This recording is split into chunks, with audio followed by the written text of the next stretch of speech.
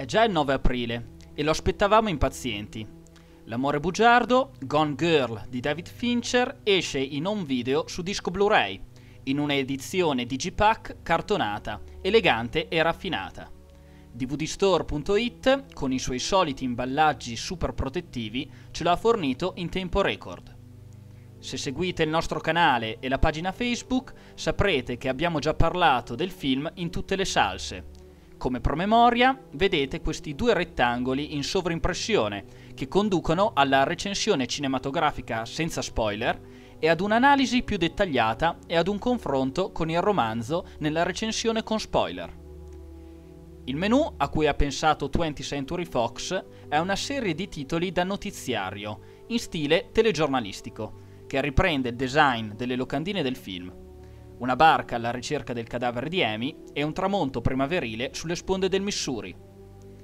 Tra un'intermittenza e l'altra scopriamo che i capitoli del film sono tutti titolati e che la lingua inglese è proposta in DTS HD Master 7.1 senza perdita di qualità, mentre l'italiano, come da prassi Fox, è veicolato da una codifica DTS 5.1 Lossi chiara nei dialoghi e vibrante nella rumorosa colonna sonora, ma che non può competere con l'originale inglese in termini di profondità e fedeltà ambientale.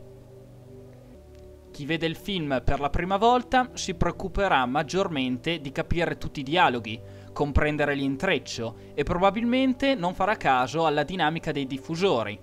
Ma con una seconda visione ecco che scoprirete un secondo film, che si distingue dai tanti thriller investigativi anche grazie ad un messaggio sonoro cupo e ritmato e ad una fotografia morbida ma dettagliata.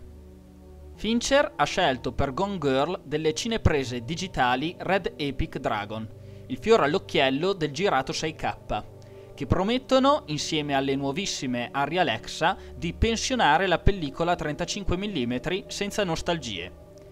Il quadro video qui esaminato è forte di una compressione minima, abile nel restituire figure tridimensionali e un livello di dettaglio netto, specialmente sulla barba incolta di Affleck e sui capelli di Rosamund Pike.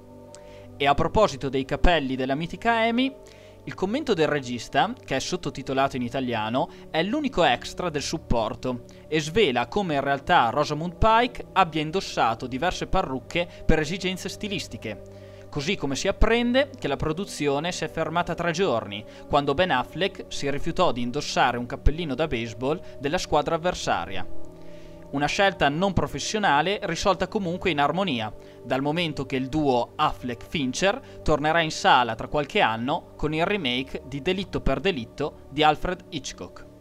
È un vero peccato che Fox non abbia incluso nel digipack italiano il booklet della mitica Amy uno speciale libretto fotografico contenuto sia nell'edizione inglese che americana, che raccoglie le vignette più celebri dell'infanzia di Amy fino a delinearne i primi preoccupanti sintomi di psicopatica ossessiva.